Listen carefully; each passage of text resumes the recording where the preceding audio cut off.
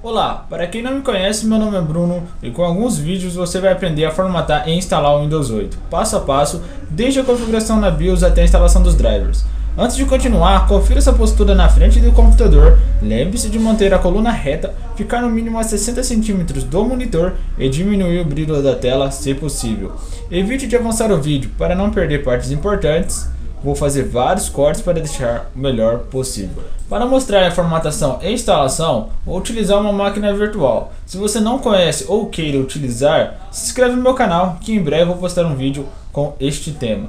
Antes de começar, é necessário configurar o boot na BIOS. O primeiro passo é a configuração na BIOS.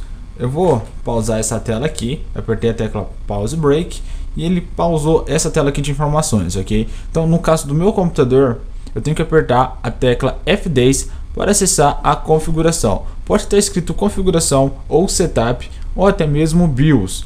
Geralmente essa tecla para você acessar a BIOS é a tecla delete, mas no meu caso é a tecla F10. Então na primeira tela que você tem do computador, provavelmente você já vai ter essa informação. Então vou apertar aqui F10.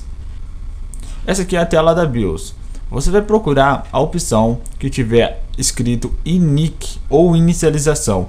Pode ser também estar escrito boot. Isso aqui vai ter várias opções porque existem vários tipos de BIOS. Mas o padrão é isso. Você tem que procurar é, a configuração de boot na sua BIOS. No meu caso aqui é inicialização, né, onde está escrito inic e prioridade do dispositivo de boot. Vou teclar Enter e aqui eu tenho primeiro, segundo, terceiro e quarto dispositivo de boot.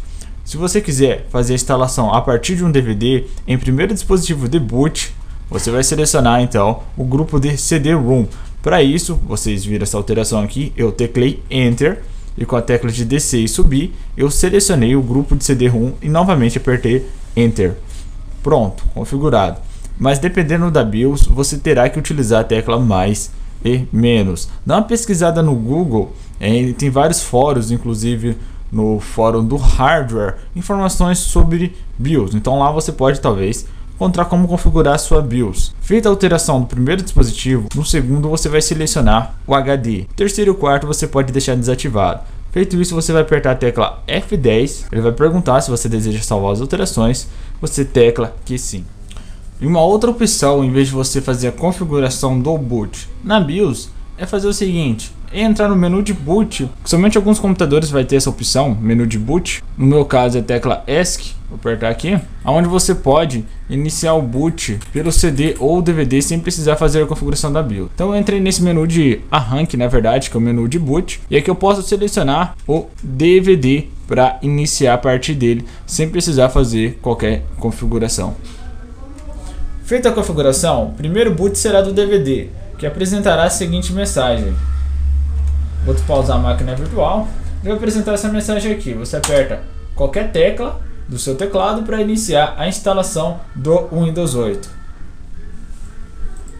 Depois de carregar alguns arquivos do Windows, ele vai aparecer esta janela aqui e você vai selecionar em idioma instalar português Brasil, formato de moeda, português Brasil também, em teclado, como eu tenho um teclado com um tiozinho do A e o C com cedilha, eu vou selecionar Brasil ABNT2. Vou clicar em avançar e instalar agora.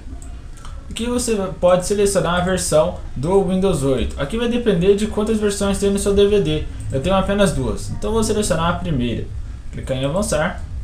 Isso aqui é os termos de licença, se você preferir ler, tudo bem, mas tem muitos parágrafos aqui. Eu vou simplesmente aceitar os termos e vou clicar em avançar. Nesta janela eu tenho duas opções. Eu tenho a atualização quando ele faz a instalação do Windows 8 e mantém meus arquivos em uma pasta.